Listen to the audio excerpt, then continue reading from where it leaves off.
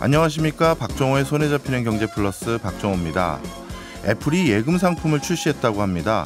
이자도 많이 준다는데요. 미국 전체 평균 금리의 10배가 넘는 연 4.15%의 금리를 제공한다고 합니다. 애플 카드만 발급하면 계좌 개설이 가능하다고 하는데요. 미국 은행권에서는 애플이 아이폰을 기반으로 앞으로 얼마나 편리한 금융 서비스를 제공할까 긴장하고 있다고 합니다. 애플이 금융업까지 뛰어든 상황에서 우리 기업들의 경쟁력은 어떻게 키우고 또 어떻게 지켜야 할까요?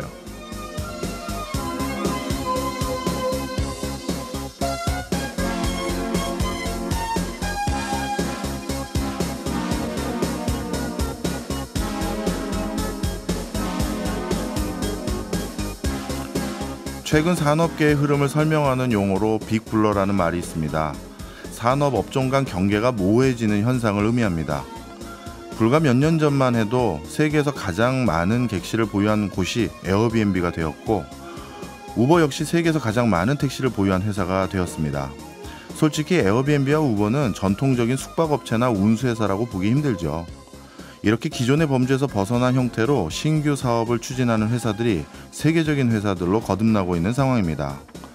만약 에어비앤비 같은 회사가 국내에서 탄생했다면 전통적인 호텔 숙박업 협회에서도 외면받고 숙박업을 관리 감독하는 주무부처에서도 자신들 소관이 아니라며 IT 관련 부서를 찾아가 보라고 할 가능성이 높은 것이 우리나라의 현실입니다.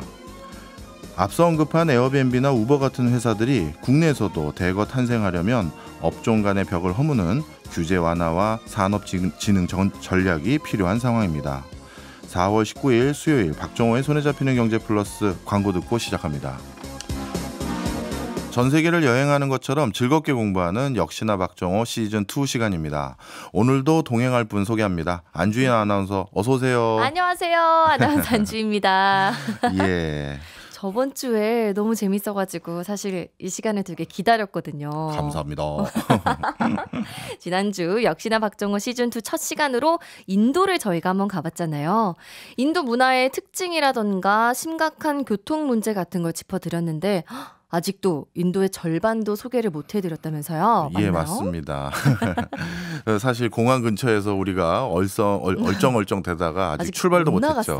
맞아요. 그래서 오늘은 본 게임으로 들어가려고 합니다. 어, 인도, 의 산업 동향 그리고 좀 비즈니스 할 만한 거리들 뭐가 음. 있는지 좀 말씀드려 보려고 해요. 좋아요. 그러면 오늘 진도 나가기 전에 지난주 역시나 박종훈 시즌 2 간단하게 복습해 보겠습니다.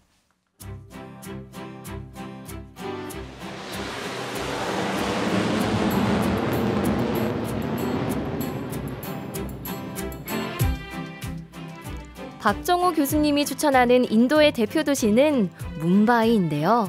인도에서 가장 큰 도시이자 최대의 경제 도시입니다. 세계적인 엔지니어, 기업, 부호를 만날 수 있는 것이죠. 하지만 교통체중도 가장 심한 도시 중 하나인데요. 그래서 목적지까지 빨리 가고 싶은 마음에 택시를 타는 건 비추. 바가지 요금은 기본이고요. 못 알아듣는 척 하면서 엉뚱한 곳에 데려다 놓기도 하거든요. 혹시라도 인도에서 운전할 일이 있다면 사이드 미러가 없다고 또 깜빡이를 켜지 않는다고 놀라지 마세요. 인도 사람들은 빵빵 클랙슨 하나면 다 해결되거든요. 하지만 인도는 양파 같은 나라, 겉모습에 속으면 안 됩니다. 인도의 MIT라고 불리는 IIT, 인도 공과대학원에서는요, 전 세계 유수 기업들이 탐내는 인재들이 모여 있고요. 아, 인도 공과 대학교죠. 중국 대신 생산 거점으로 인도를 선택하는 기업들도 점차 늘고 있다고 해요. 실제로 전 세계에서 휴대폰을 가장 많이 만드는 나라가 중국에서 이젠 인도로 바뀌고 있습니다. 이 정도면 어때요? 제가 좀 요약을 잘 해 본 건가요? 역시 전문가에게 읽는 거는 맡겨야 된다는 생각이 제가 다시 한번 듭니다. 더듬더듬 한번 잘 생각을 해봤고요. 아닙니다. 예.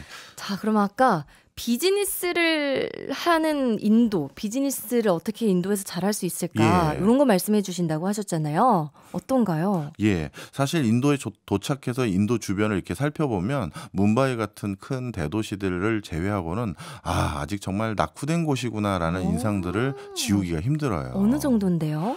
어 실제 도로상에서 뭐 여러 배설물들도 있고 음흠. 그리고 지방에서는 전기도 안 들어오고 그리고 뭔가 교통 시설도 야 사실 완비되어 있지도 않고요. 네. 그러다 보니까 아 이런 낙후된 곳에서 지금 당장 할 비즈니스는 없겠고 인도도 그래서 이제 막 발전을 추구하나 보다 이렇게 생각하시기가 쉬운데요. 어?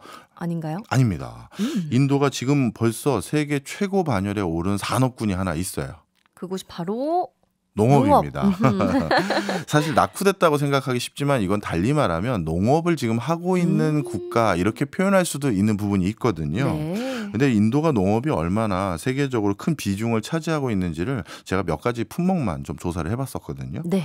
어, 일단 전 세계 콩 생산의 25%를 인도가 하고 있어요. 25%면 굉장히 어마어마한 수치죠. 그렇죠. 전 세계에 얼마나 많은 나라가 있는데 한 와. 나라가 4분의 1을 경작한다는 건 대단한 것 같고요. 네.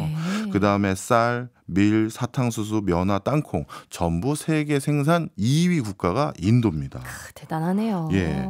근데 인도가 이게 아직 농업을 본격적으로 시작한 게 아니에요. 그것도 아닌데요. 네. 와. 인도는 인도 대륙에서 인도 대륙에서 경작 가능한 땅의 면적이 세계의 경작 가능한 땅의 면적의 11%가 다 인도에 있습니다. 그러다 보니까 인도가 작심하고 뭔가 작물을 재배하겠다라고 싶으면 네. 정말 전 세계의 작물 공급을 가장 많이 할 수 있는 나라가 오. 인도다 이렇게 보시면 되겠고요. 중요한 거잖아요. 그렇죠. 네. 그리고 농업을 할 때는 그 땅에서 도대체 뭘 심을 수 있는지를 음. 아주 정교하게 농학자들이 분류하는 기준 같은 것들이 있거든요. 네. 그런데 지구상에는 토양을 크게 보면 한 60가지 종류로 분류를 합니다. 예. 그래서 어느 토양에는 주로 뭘 심으면 잘 자라고 어느 토양에는 뭘 심으면 잘 자라는지 이런 것들을 이렇게 구분하는데 네. 전 세계 토양 60종 중에서 인도가 가지고 있는 토양의 종류가 40종이에요. 6, 60종 중에서 40종이요? 그렇죠. 와. 그러니까 인도에서는 진짜 못 심을 작물이 없다. 이렇게 해도 과언이 아닌 거죠. 네. 그리고 또 하나 더 있습니다. 음? 인도는 계절적으로 어, 농사를 두 번 지을 수가 있어요. 두 번이요? 예, 음. 인도 말로는 카리프라고 하고 라비라고 부르는데요. 아, 네. 카리프는 4월에서 10월 몬순 시기에 수확하는 걸 의미하고요. 라비는 겨울철에 수확하는 걸 주로 음. 의미하는데 남부 지방에서는 겨울철에 수확이 가능하거든요. 아, 그러니까 쉽게 말씀드리면 1년 365일 농사를 계속해서 지을 수 있는 공간이 바로 또 인도인 겁니다. 굉장한 나라네요. 예. 그러다 보니까 인도는 이 농업을 기반으로 적지 않은 뭐랄까요? 국제적인 영향력과 음. 외교력을 행사하려고도 노력을 하고 있는 상황이고요. 네. 그리고 미래지향적으로 농업은 뭐와 관련이 크냐 하면요. 네. 앞으로 우리는 이제 환자라는 단어를 점점 듣기 어려워질 거라는 그런 전망을 하는 미래학자들도 많아요. 환자, 예. 아프신 분들이요? 맞습니다. 네. 그왜 그러냐면 예방의학 때문이에요. 아, 감 오시죠? 네. 아프기 전에 음흠. 병원에서 앞으로 당신은 5년 뒤에 10년 뒤에 이런 질환에 걸릴 가능성이 높습니다. 음. 이런 사전에 예측하는 진단을 내리는 거예요. 그러면 지금 당장 내가 아픈 건 아니기 때문에 굳이 약을 먹을 필요가 없겠죠. 아, 예를 들어서 어 당뇨 환자면 지금 당장 인슐린 같은 걸 처방을 받아야겠지만 지금은 당뇨 환자가 아니고 10년 뒤에 당뇨병에 걸릴 확률이 너무 높습니다라고 하면 음. 지금 먹어야 될 거는 사실 인슐린이 아니라 뭐 당뇨에 좋은 음식 뭐가 네. 있을까요? 뭐 현미밥이라든가 맞아요. 이런 것들을 먹어야 되는 거겠죠. 음. 그러다 보니까 인도는 이런 여러 가지 식품들을 재배할 수 있는 환경 때문에 의약품 또는 생약 이런 것들을 발달시 킬 수 있는 나라로 손꼽히고 있어요. 아하. 그리고 전 세계 벌써 어, 전 세계 모든 식물 종 중에 8%가 전부 인도에 있습니다. 8%가 전부 인도에 있나요? 네, 그러다 보니 인도는 진짜 앞으로 농업과 의학에 음흠. 뭐, 뭐 꽃을 피울 대표적인 나라라고 저는 그렇게 보고 있어요. 어, 그리고 또 제가 인도 하면은 생각이 나는 게 카스트 제도가 있어요. 맞아요. 예. 아, 이것도 말씀드려야겠다. 우리나라 분들이 인도에서 비즈니스 하려고 인도를 찾아가면 네. 대부분 카스트 제도를 기억하고 계시기 때문에 교과서에서 배웠거든요. 그렇죠. 저도 그랬죠. 그래서 어, 네 가지 신분으로 인도를 구분할 수 있다 이렇게들 우리 가 이해하고 있습니다. 네. 근데 실제는 좀 그렇지가 않은데요. 우리가 흔히 카스트 제도라고, 제도라고 부르는 것은 사실 그 분류법은 영국인들이 만든 거예요. 아, 자체적으로 만들어진 게 아니라요. 그렇죠. 자체적으로는 음. 바르나라는 뭐 네 개로 나누는 계급 제도가 있는데 네. 그게 이제 카스트 제도를 분류하는 기준과 거의 비슷한데요. 근데 인도인들은 사실 그거보다는 자티라고 부르는 그 신분제도 비슷한 게 있어요. 자티. 예, 네. 이건 뭐냐 하면 어, 엄밀히 말하면 신분만 들어가는 게 아니고 직업에 따라서 또 사람들을 좀 어, 상하이로 나누는 음. 네. 그런 독특한 어떤 신분제 같은 신분제인데 신분제 아닌 신분제고 그러네요. 직업으로 나누는 네, 거면요. 태어날 맞습니다. 때부터 정해진 게 아니네요. 그렇죠. 음. 자, 그런데 이 자티 직업으로 따지면 인도의 신분제는 분류 기준이 몇 개나 되냐면 근 3천 개가 돼요. 네? 그러다 보니까 오. 되게 복잡한 거예요. 거의 모든 직업마다 다 나누는 거 아니에요? 맞습니다. 어머나. 그러다 보니 영국인들이 이걸 보고 야 이거 도대체 어떻게 이해해야 되는 거야 잘 몰라서 그래서 선택했던 게 바로 뭐다 아 카스트 제도라고 본인들이 분류 체계를 좀 편하게. 분류한 게 어, 우리가 많이 어, 친숙하게 여기는 부분이다 이렇게 보시면 어, 되겠어요. 이것도 좀 생각을 해야겠네요. 자 그리고 인도에서만 특히 유명한 사업이 있다면서요? 맞습니다. 대표적으로 인도에서 이사 업하면 대박 난다라고 저도 생각한 독특한 사업이 저도 할래요. 저도 할래요. 어, 같이 하실까요? 뭔데요? 결혼 중매업이에요. 아 중매요. 우리나라도 이런 회사들 요즘 많잖아요. 그 그쵸 그쵸. 예. 보이죠? 예, 그런데 이 거- 결혼 중매업이 인도에서는 특히 붐을 이루는 게 인도는 결혼할 때 연애에서 결혼하는 비중이 극히 낮아요. 다 이렇게 중매로 결혼하는군요. 예. 주로 양가 부모님들이 우리 아들과 당신 딸을 결혼시키는 게 음. 어떻겠느냐 이렇게 사전에 합의를 보고 네. 그걸로 결혼을 시키는데 그런데 인도도 이제 IT 강국이잖아요. 예전에는 우리 딸 시집 갈 때가 됐는데 주변에 좋은 남성 없어 어, 이렇게 암암리에 아하. 적합한 사람을 찾고 그랬었었는데 그랬었는데 이젠 어떻게 한다? 그게 아니라 아 IT 앱으로 조건을 넣으면 아. 그리고 우리 딸의 MBTI도 넣고 혈액형도 넣고 뭐 이런 걸 외모도, 넣으면 네. 외모도 넣고 그러면 그걸 바탕으로 적합한 배우자들을 추천해주는 이런 서비스도 많고요. 음. 아예 이렇게 중매만 서는 것이 아니라 인도는 일생일대 가장 중요한 의식이 결혼이에요. 그 정도로 좀 중시하는군요. 그렇죠. 어, 아버님, 어머님들이 평생 열심히 일을 하는 이유들 중에 하나가 결혼? 우리 딸의 결혼식을 성대하게 올려주기 어머나. 위해서 그렇다고 해도 과언이 아니에요. 네. 그래서 이 결혼과 관련된 다양한 서비스 분야가 발달되고 있는데 네. 어 그러니 결혼과 관련된 어떤 업종들이 굉장히 어, 점점 붐업을 이루고 있어요. 어, 가서 웨딩 플래너 이런 것도 괜찮을 것 같은데요. 그럼요. 네. 근데 이러다 보니까 웃지 못할 부- 어, 어떤 에피소드들도 많습니다. 뭐예요, 뭐예요? 어, 얼마 전에 인도 출장 갔다가 인도 신문에서 보고 저도 네. 그 스크랩을 해놓은 거였는데요.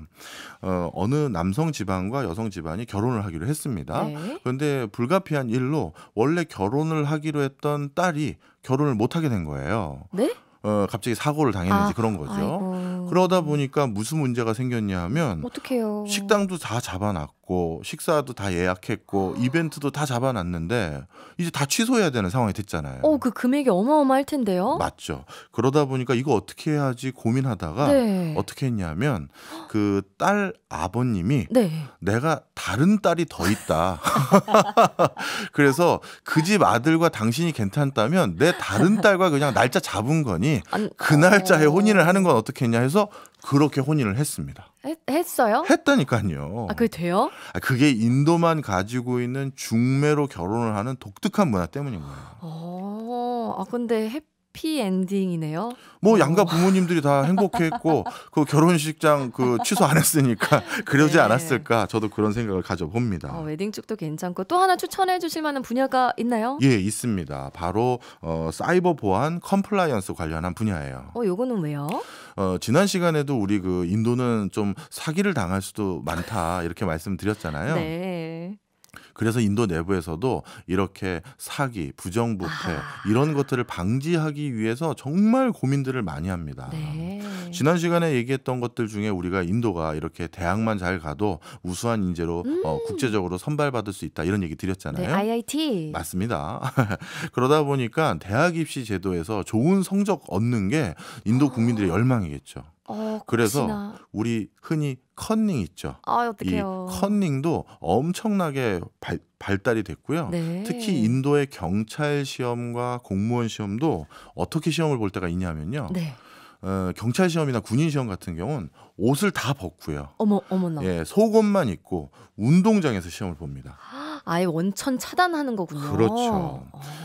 그 이런 현, 형태가 인도에서 계속 지금 전개되고 있다 보니까 이런 뭐 사기를 막는 이런 보안 시스템 업체들 이런 것들도 아마 앞으로 붐업이 일어날 것 같고요. 음. 하나만 더 말씀드릴게요. 네. 인도 하면 영화 많이 보는지 모르시죠? 영화, 어, 인도 영화 뭔가 노래 많이 하고. 맞아요. 아, 보신 적춤 있구나. 많이 추고. 예, 네. 맞습니다. 인도에 그런 독특한 영화가 있어요. 이게 장르가 도대체 뮤지컬인가 영화인가 맞아요, 모르겠는 맞아요. 바로 그런 영화 장르가 생긴 것도 또 하나의 인도의 산업의 붐을 일으키는 힌트가 되는데요. 네. 인도는 사실 아직도 전기가 제대로 보급이 안 됐어요. 어, 아까 말씀해 주셨죠. 예. 그러다 보니까 어떤 문제가 생겼냐면 집에서 TV 같은 걸 못 봐요.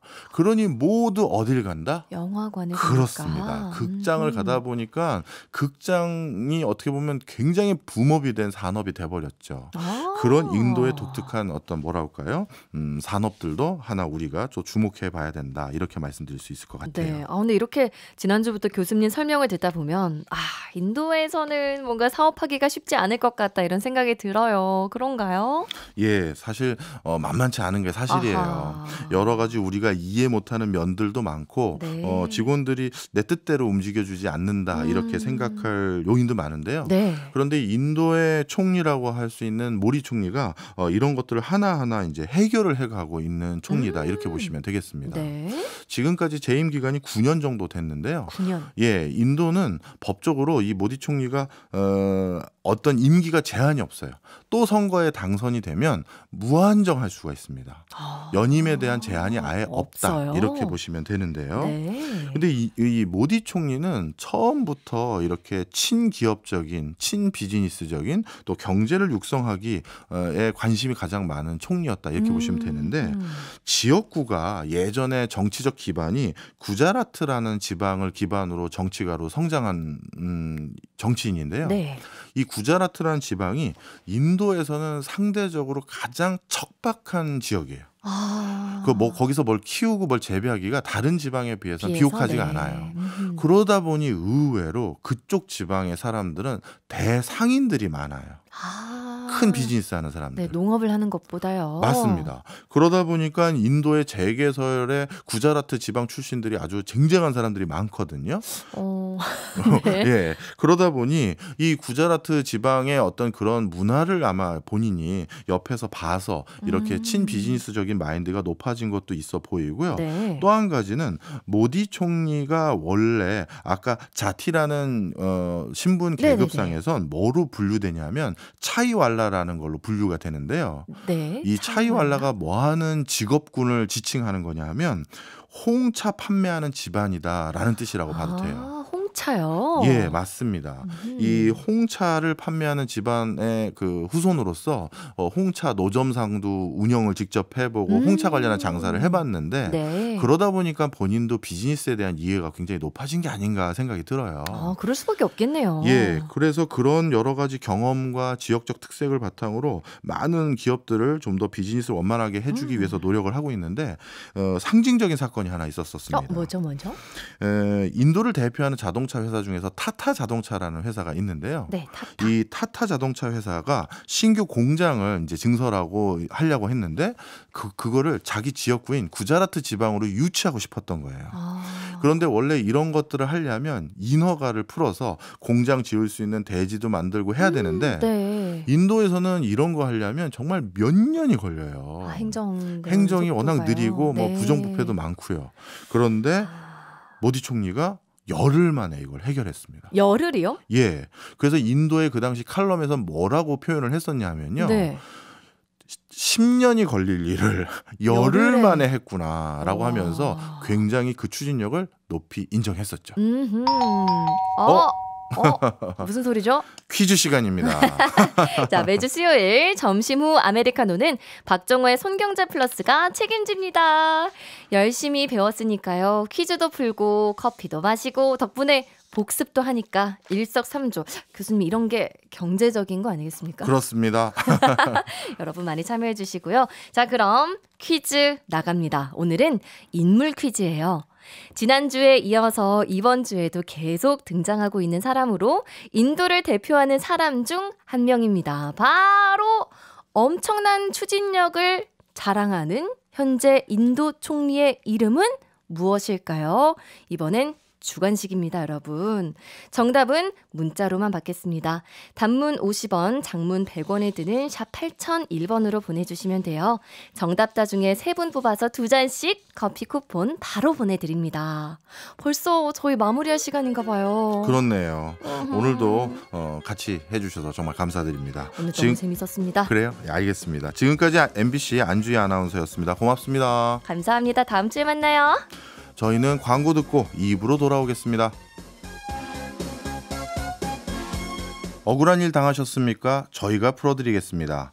법으로 돈 문제 해결해드리는 억울한 경제 시간입니다. 오늘은 HR 컨설턴트 장내석 노무사와 함께합니다. 어서 오십시오. 네. 오늘은 어떤 억울한 상황 해결해 주시려고 오셨습니까? 네, 오늘은 직장 내 성희롱 및 성차별 사례를 탐구해 보려고 합니다. 이게 우리 사회에서 이슈가 된 지가 이제 꽤 됐는데 좀 네. 근절이 됐는지 모르겠습니다만 아직도 좀 있겠죠. 네, 네. 아, 참. 일단 그러면 직장 내 성희롱과 직장 내 괴롭힘 요거부터 좀 차이를 좀 구분을 해야 될 것 같아요. 성희롱과 괴롭힘은 어떻게 다릅니까? 네, 예전부터 직장 내 성희롱 금지 관련 법률은 있었습니다. 예. 그런데 이제 직장 내에서 성희롱 문제만 발생하는 건 아니잖아요. 그러다 보니까 더 범위를 넓혀서 직장 내 괴롭힘을 금지하도록 근로기준법을 개정을 한 겁니다. 영어로도 직장 내 성희롱은 sexual harassment이고 직장 내 괴롭힘은 harassment로 직장 내 괴롭힘이 좀 더 포괄적인 개념이라고 보시면 됩니다. 아, 그렇군요. 약간 상위 개념이라고 할 수도 있겠네요. 직장 내에서 성희롱이나 성차별 받으시거나 받으시고 계신 분, 어, 실시간으로 상담 받을 수 있습니다. MBC 스마트 라디오 미니나 짧은 문자는 50원, 긴 문자는 100원에 정보 이용료가 추가되는 유료 문자 샵 8001번으로 내용 보내주십시오. 장내석 노무사가 상담해 드립니다. 어, 먼저 직장 내 성희롱의 유형으로는 대표적으로 요즘 어떤 게 있나요? 네, 직장 내 성희롱은 크게 세 가지 유형으로 나뉘는데요. 육체적, 언어적, 시각적 성희롱이 있습니다. 육체적 성희롱은 피해자의 의사에 반해서 신체 접촉을 하는 것을 말하는데요. 예전에는 입맞춤이나 뭐 포옹 같이 직장 동료 사이에서는 뭐 절대 있을 수 없는 행위에 대해서만 성희롱이 인정됐지만 최근에는 어깨 동무, 손잡기 같은 가벼운 신체 접촉에 대해서도 피해자가 성적인 굴욕감을 느꼈다 이러면은 직장 내 성희롱으로 인정될 수가 있습니다. 야 예전에는 수위가 진짜 높았네. 말도 안 되는 거잖아요. 네네. 포옹을 한다든가 입맞춤을 한다니. 야 이게 상식 밖인데 또 언어적 성희롱은요. 네, 언어적 성희롱은 전체 직장 내 성희롱 사건 중에 70%가 넘을 정도로 가장 많이 발생하는데요. 음담 패설 그리고 외모 평가나 비유 이런 게 음. 대표적이고요. 마지막으로 시각적 성희롱은 음란한 사진, 글 등을 보여주거나 자신의 특정 신체 부위를 뭐 일부러 보여주는 행위 등을 말합니다. 최근 3년간 가장 많이 발생한 유형을 구체적으로 말씀드리면요. 당연히 언어적 성희롱인데요. 외모 평가나 성적 비유가 34%로 1등을 차지했고요. 그다음 음담 패설이나 성적인 농담이 22%, 그리고 회식 자리에서 술 따르기 강요도 성희롱에 해당하는데요. 이게 아. 13%로 그 다음을 차지했습니다. 예. 제가 항상 헷갈리는 게 하나 있어서 그걸 좀 여쭤보겠습니다. 많은 분들이 어, 이런 표현들 쓰잖아요. 어우, 김대리님, 아, 잘생기셨어요. 이런 얘기 할 수도 있는데, 이거는 칭찬인가요? 이거는 성희롱에 해당되나요? 교수님도 잘생기셨는데요. 어, 감사합니다. 기분 나쁘신가요, 혹시? 저는 뭐 그, 그렇게 성격이 민감한 사람은 아니어서. 예, 이렇게 외모 평가는 발언의 정도에 따라 기분 좋은 칭찬이 될 수도 있고 반대로 직장 내 성희롱이 될 수도 있는데요. 어, 될 수도 있는 거군요. 그럼요. 음. 성희롱 판단 기준은 그 당사자 가 성적인 불쾌감을 느꼈는지가 중요합니다. 그래서 칭찬보다는 어떤 지적, 외모 지적이 훨씬 더 리스크가 높은데요. 최근 대법원에서 인정된 사례가 있습니다. 직장 상사가 구내 식당 등 공개된 장소에서 부하 직원한테 아, 살쪄. 그만 좀 먹어. 이런 식으로 수차례 얘기를 했대요. 예. 그게 언어적 성희롱으로 인정이 됐습니다. 음. 뭐 해당 직장 상사는 진심으로 뭐 부하 직원의 건강을 생각해서 한 말일 수도 있지만 건강은 뭐 본인이 알아서 할 일이죠. 저도 예전에 공장에 다닐 때 제 밑에 인사팀으로 여자 후배가 들어왔는데 예. 공장 발령이 나고 뭐 약간 살이 쪘나 봐요. 근데 사람 많은 구내 식당에서 다른 팀의 상무님이 지나가시다가 저한테 얘 그만 좀 먹이 어쩌려고 그래 라고 말한 적이 있습니다. 굉장히 위험한 발언이죠. 그렇네요. 듣고 보니까 저도 지금보다 훨씬 더 조심해야 될 것 같아요. 저는 칭찬 차원에서 아뭐뭐 외모가 너무 훌륭하다 이렇게 얘기한 적이 없다고 볼 수 없거든요. 네네. 근데 그것도 듣는 사람 입장에서는 이렇게 어, 불쾌감을 어, 느낄 수 있다라고 하니까 함부로 하면 안 될 것 같긴 합니다. 네. 또 어떤 게 있나요? 최근에는 코로나 성희롱이라는 단어도 생겨났는데요. 이건 미국에서 있었던 일인데 미국은 이제 팀 문화가 있지 않습니까? 한 레스토랑에서 손님이 여종어머니에게 마스크 좀 벗어봐요. 예쁘면 팁을 줄게. 이렇게 얘기를 했다고 합니다. 그래서 문제가 됐는데 실제로 코로나 이후에 식당 직원 중에 80%가 이런 문제들로 팁이 줄었다고 조사가 됐다고 하니까 참 음. 걱정입니다. 아참 이게 에, 뭐라 그럴까요? 어떻게 보면 small talk라고 볼 수도 있지만 워낙 의도가 나쁜 게 뻔히 보이면 정말 이거는 성희롱이라고 볼 수 있는 게 분명해 보이네요. 자 판단 기준이 그렇다면 이제 피해자에게 어떻게 보면 피해자가 결정한다 이렇게 봐도 과언이 아닌데요. 성희롱으로 그래도 인정되지 않는 경우 있지 않을까요? 네, 그렇습니다. 예전에 비해 성희롱의 판단 기준이 엄격해져서 어, 다들 말 조심, 행동 조심이 필요해진 건 맞습니다. 하지만 직장 내 성희롱도 업무상 필요성이 있거나 일반적인 사람이라면 성적 불쾌감을 느끼지 않는 상황이라면 인정되지 않을 수가 있는데요. 최근에 한 인터넷 게시판에 올라온 사연이 있습니다. 글을 올린 사람은 한 회사에서 면접을 본 입사 지원자였는데요. 같은 조에서 옆에서 면접을 보던 한 여성 지원자에게 면접관이 얼굴 확인하게 마스크 좀 잠시 내려주시겠어요? 라고 말했는데 이에 그 여성 지원자가 몹시 불쾌해하면서 이것도 성희롱인 거 아시죠? 라고 따졌다고 합니다. 예.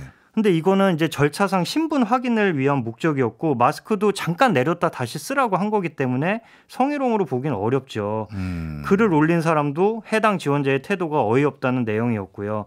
이런 식이면 뭐 공항 검색대라든지 토익 시험장에서도 다 성희롱이 이루어지고 있는 셈이니까요. 그렇겠네요. 이런 경우는 좀 당연히 다른 사례로 봐야 될 것 같긴 합니다.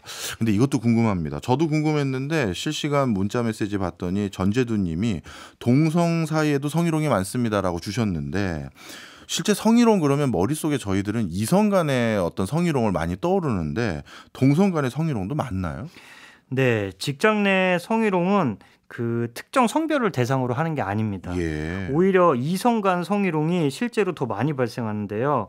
최근에 한 20대 중반의 남자 사원이 40대 후반의 남자 상급자를 직장 내 성희롱으로 신고를 했습니다. 왜 했나 봤더니 1년 동안 지속적으로 주말에 뭐 하냐? 애인 만났나? 나랑 데이트 좀 할래? 라고 언어적 성희롱을 했고 음. 더큰 문제는 이제 남자끼리니까 이러면서 뒤에서 껴안으면서 요즘 살쪘어. 뭐 이런 신체적 성희롱을 했다고 아. 합니다. 이게 만약에 여 사원에게 했다면 당연히 성희롱으로 생각했겠죠. 근데 더 큰 문제는 사건화가 되지 않는 게 문제입니다. 실제로 이 사건도 공식 조사가 이루어지니까 가해자는 오해라고 펄펄 뛰면서 어, 억울하다 이렇게 얘기를 했고요. 더 문제는 인사위원회가 열렸는데 인사위원회 일부 위원이 에이 남자끼리 친밀감 갖고 짓궂은 장난한 걸로 봐야 되는 거 아니냐 아. 이런 식으로 의견을 내기도 했다고 합니다. 그렇게 치면 뭐 남자끼리 또는 여자끼리는 무슨 행동을 하든지 상관없단 말인가요? 절대 아니죠. 그렇네요. 그다음에 이것도 궁금합니다. 직장 내 성희롱이라고 우리가 이렇게 표현하잖아요. 그런데 그 직장의 범주가 어디까지인지가 궁금하거든요. 예를 들어서 고객이 또 포함되는 건지 아니면 거래처 직원도 여기에 포함되는 건지 이것도 궁금합니다. 네, 안타깝지만 고객이나 거래처 직원은 직장 내 성희롱 대상이 되지가 않습니다. 직장 내 성희롱은 가해 대상이 사업주, 직장 상사, 동료이기 때문인데요. 하지만 이제 대신 형법상 강제 추행죄라든지 또 최근에는 통신 매체 이용 음란죄가 생겨서 거기에 해당할 수가 있습니다. 근데 이런 것들은 이제 형사 소송이기 때문에 소송을 거쳐야 되는 만큼 직장 내 송일홍처럼 즉각적인 처벌이 어렵죠. 그런 단점이 있고요. 정말 요즘 그 콜센터 직원들 그 감정 노동이 심한데요. 어떤 직원은 전화 접수하는 내내 몇 시에 마치냐, 끝나고 나랑 술 한잔 어떠냐, 이런 얘기를 듣기도 했다고 하고요. 그 다음에 어떤 콜센터는 인사말이 사랑합니다 고객님 이렇게 하잖아요. 그랬더니 어떤 사람이 정말 정말 저 사랑해요? 그럼 만나줘요. 이렇게 들이대는 취객도 음. 있었다고 합니다. 그리고 거래처 직원에 의한 성희롱도 심각한데요. 가령 영업사원에게 거래처 직원이 술이나 노래를 강요한다. 그리고 불쾌한 신체 접촉을 한다. 이러면은 해당 직원이 회사에다 말을 해야 됩니다. 그럼 회사는 어, 해당 직원을 타 부서로 발령을 내거나 또는 거래처를 변경해서 그 어, 불쾌감을 야기한 거래처 직원을 안 만나게 보호해야 될 의무가 있고요. 또 다른 방법은 거래처 직원을 직접 징계는 못하지만 증거를 확보해서 거래처에 전달하면 거래처 사장님이 징계를 할 수 있겠죠. 음, 아, 그것도 방법이겠네요. 지금까지 이제 성희롱을 이제 살펴봤다면 이제 성차별도 한번 여쭤보고 싶었습니다. 성희롱과 달리 성차별은 뭘 말하나요? 성차별은 그 성 역할에 따른 차별적 인식으로 어, 특정 성별에 대해 불이익을 주는 것을 말하는데요. 쉽게 말해서 아 남자라면 돈을 벌어야지 또는 여자는 결혼하면 쉽게 회사를 그만둬요 또는 애기는 엄마가 키워야지 등등의 사회 전반에 걸친 남녀에 대한 잘못된 인식을 말하는 겁니다. 진정한 양성 평등을 이루려면 반드시 없어져야죠. 몇 년 전에 제가 컨설팅을 하러 한 회사를 방문한 적이 있는데요. 예. 그때 한 임원분 방에 들어가서 얘기를 하고 있었습니다. 근데 갑자기 그 임원분이 여성인 영업 팀장을 부르는 거예요. 그래서 저는 속으로 어 뭐 같이 논의하실 게 있나 이렇게 생각을 했거든요. 근데 영업 팀장이 들어오자마자 어 김 팀장 커피 두 잔만 타와 이렇게 얘기를 하는 거예요. 그것도 음. 반말로요. 그래서 제가 그 임원분한테 왜 팀장에게 커피 심부름을 시키세요? 그랬더니 에이 원래 그래요라고 대수롭지 않게 말씀을 하시더라고요. 만약에 그 팀장이 남성이었어도 그랬을까요? 이와 관련해서 비교가 되는 사례가 있는데요. 교수님 혹시 라테 파파라는 말 들어보셨나요? 사실 처음 들어봅니다. 아, 이거는 스웨덴에서 한 손에는 카페 라떼를 들고 한 손에는 유모차를 끄는 아빠들을 지칭하는 말인데요. 아, 몇년 전에 한 TV 프로에서 스웨덴 어린이집을 촬영을 갔습니다. 4시 반이면 어린이집이 끝나고 그러면 이제 부모님들이 아이, 아이들을 픽업하러 오겠죠. 그렇겠죠. 근데 14명의 어린이가 있었거든요. 예. 근데 4시 반이 되니까 정확히 아빠 7명, 엄마 7명이 픽업을 하러 오더라고요. 그래서 아, 이런 사회적 기반이 먼저 이루어져야 성차별에 대한 인식도 바뀌겠구나 하는 생각을 해봤습니다. 그렇겠네요. 우리나라는 저도 어떤 여론조사 봤더니 직장인 10명 중에 7명이 아직까지 회사 내에서 구조적인 성차별을 당하고 있다. 이런 지적들이 많던데요. 회사 내의 구조적인 성차별 주로 어떤 것들이 있을까요? 뭐, 그건 다양하게 있는데요. 우선 직장인 10명 중에 7명이 그런 구조적인 성차별이 있다고 느꼈다고 하고요. 이거는 이제 남성, 여성을 다 합친 어, 퍼센트인데 여성 직장인만 따져보면은 10명 중 9명, 90%가 성차별이 있다고 느꼈다고 합니다.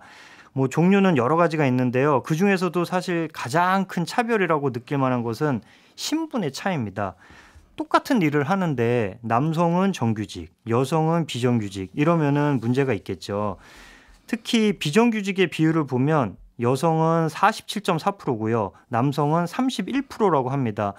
이건 주로 여성들이 하는 그 일자리 중에 마트 점원, 미화원, 조리사, 강사 같이 비정규직 일자리들이 많아서 그런데요. 우리는 이런 일자리들이 왜 정규직으로 운영하면 안 되는지부터 따져보아야 할 것 같습니다. 비정규직은 고용이 불안정한 것뿐만 아니라 임금 수준도 정규직의 70% 수준밖에 안 돼서 문제가 심각하죠. 그리고 또 하나는 어, 모성 보호랑도 관련된 건데요. 주로 이제 육아휴직 같은 거를 여성들이 다녀오잖아요. 예. 갔다 오면 발령지가 바뀐다든지 아, 또는 예, 예. 아 육아휴직을 갔다 왔으니까 뭐 일을 안 했으니까 평가를 거의 바닥으로 아. 최저 등급 저평가를 준다든지 이런 것들이 많이 일어나고 있는데 이런 것도 구조적인 성차별 중에 하나라고 볼 수가 있습니다. 예, 문- 미니 문자 메시지에도 여러 가지가 지금 올라왔는데요. 이것도 궁금합니다. 저보고 최 씨라고 고집이 세다고 하는데 이것도 성희롱 아닙니까? 라는 얘기인데 맞나요? 아, 요거는 성별은 아니고 예. 다른 의미의 성이네요. 예. 하지만 이거는 그 성별에 따른 차별은 아니기 때문에 직장 내 성희롱이나 성차별로 볼 수는 없고요. 다만 어떤 특정 성을 가지고 어, 차별을 한 거기 때문에 이거는 직장 내 괴롭힘에 괴롭힘에. 예, 업무적인 적정 범위를 벗어난 거죠. 예. 괴롭힘에 해당한다고 볼 수 있을 것 같습니다. 그리고 정민섭 님께서 이, 런 사례를 말씀 주셨는데요. 옆 회사 얘기입니다. 옆 회사에서 여직원 빈자리를 쳐다봤다고 부서 이동이 있었다고 하는데, 야 이런 거는 너무 경계가 불분명한 거 아닌가요?라고 하셨습니다. 어, 여사원의 빈자리를 보고 얘기를 했다. 이거는 좀 막연한데요. 이거는 사실 이런 경우에는 그 발령의 적정성을 봐야 됩니다. 예. 뭐 빈자리가 생긴 거는 어디로 발령이 났다는 얘기인데 그거에 대해서는 어떤 아마 이런 의미 아닐까요? 그 어떤 여직원이 근무하는 자리인데 그 여직원이 없을 때 그 빈자리를 계속 쳐다보고 있었던. 아 그런 건가요? 예. 네 그런 거는 사실 문제가 있을 수도 있는데 그거는 이제 쳐다본 거에 대한 정당성이 있어야겠죠. 그걸 음. 따져봐야 될 것 같습니다. 예. 야, 이게 진짜 여러 케이스들이 있고 네. 원래 괴롭힘과 차별 뭐뭐 희롱 이런 것들은 워낙 사례가 많다 보니까 정말 많은 것들이 있을 것 같습니다. 혹시 채용 과정에서도 성차별이 있을까요? 네, 면접 과정에서도 성차별이 종종 발생을 하는데요. 직원에 대해서는 이제 성희롱이나 성차별을 하면 아 내가 징계받을 수 있다라는 인식이 있기 때문에 조심을 합니다. 하지만 입사 지원자에 대해서는 본성을 드러내는 일부 면접관들이 음. 있는데요. 재작년에 모 제약회사에서 면접 때 그것도 인사팀장이 여성 응시자에게 여자는 군대 안 가니까 남자보다 월급 적게 받는 거 동의하시죠? 라는 질문을 했고요. 또 어이없어 하니까 아 그럼 뭐 군대 갈 생각 있으십니까? 라는 식으로 비꼬듯이 물었다고 해요. 예. 그래서 이제 그 입사 지원자가 얼마나 화가 났겠어요. 그래서 본인 SNS에 관련 내용을 바로 올렸고 이게 해당 회사 제품의 불매 운동까지 벌어졌고 그러니까 이제 결국 회사 대표가 사과를 하는 일까지 벌어졌는데 이게 무슨 망신입니까? 그러니까요.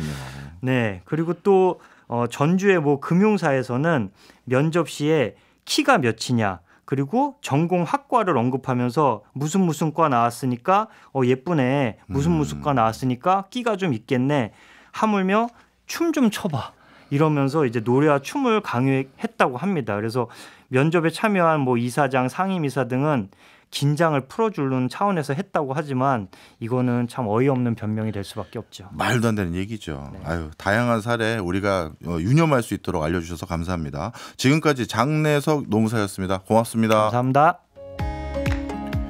지금 듣고 계신 곡은 볼빨간 사춘기의 여행입니다. 오늘 인도 여행 같이 가서 한번 선곡해 봤습니다. 그리고 퀴즈 정답 맞추신 분들 1800번, 4699번, 그리고 3585번 이렇게 세 분입니다. 어, 커피 쿠폰 받으시기 바랍니다. 축하드립니다. 박정호의 손에 잡히는 경제 플러스는 내일 11시 5분에 다시 인사드리겠습니다. 고맙습니다.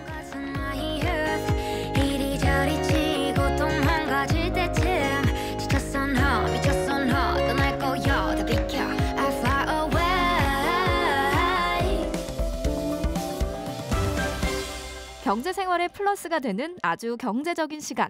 박정우의 손에 잡히는 경제 플러스.